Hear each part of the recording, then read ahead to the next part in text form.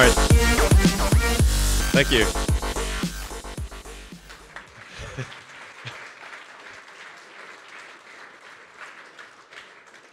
now, unlike, jo unlike Dojo, obviously that was not real.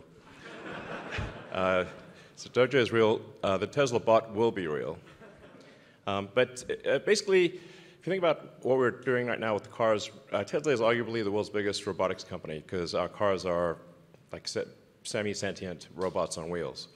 Um, and with uh, uh, the full self-driving computer, essentially the, the inference engine on the car, which will keep evolving, obviously, and uh, Dojo, uh, and all the uh, neural nets recognizing the world, understanding how to navigate through the world, uh, it, it kind of makes sense to put that onto a humanoid form.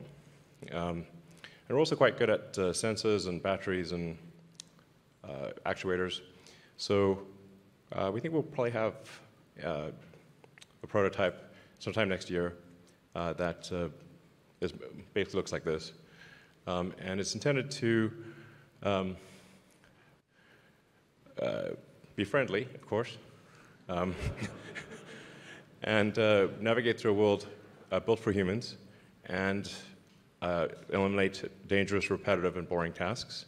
Um, we're setting it such that it is, um, at a mechanical level, at a physical level, uh, you can run away from it. Um, and, and most likely overpower it. so uh, hopefully that doesn't ever happen, but um, you never know.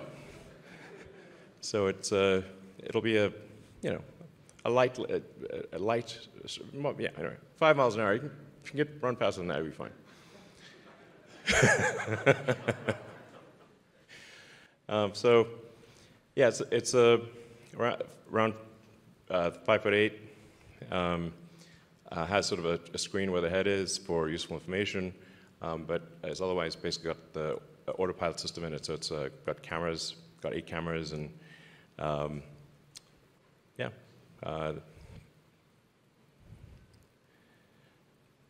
full self-driving computer, and making use of all of the same tools that we use in the car.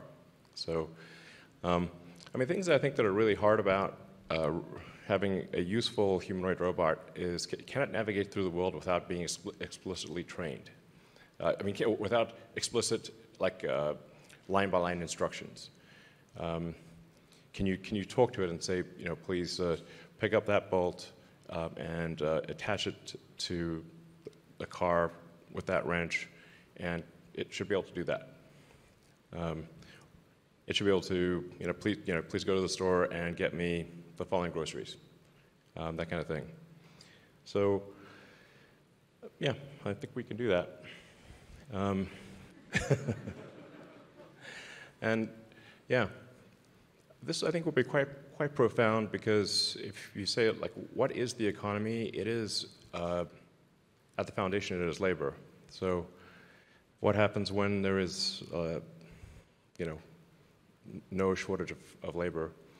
Um, this is why I think long term that there will need to be universal basic income. Um, yeah. But, but not right now because this robot doesn't work. Uh, so we just need a minute. so um, yeah, but I think it's, it's essentially in the future, uh, physical work will be a choice. If you, if you want to do it, you can, but you won't need to do it. And um, yeah, I think it obviously has profound implications for the economy because uh, given that the economy at, at its foundational level uh, is labor, I mean, capital is uh, capital equipment is just distilled labor. Uh, then, um, is there any actual limit to the economy? Uh, maybe not. Um, so, yeah, join our team and help build this.